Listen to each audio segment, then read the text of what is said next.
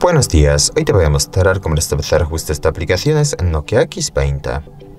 Para eso abrimos la aplicación Ajustes y luego más abajo abrimos la pestaña Sistema, la penúltima. Y aquí pulsamos la opción Opciones de recuperación, es la última. Y aquí elegimos la segunda, Recuperar ajustes de aplicaciones. Confirmamos aquí, Recuperar. Y están los ajustes y está restablecido. Muchas gracias por ver el vídeo. Te invito a comentar abajo y suscribirte al canal. Hasta luego.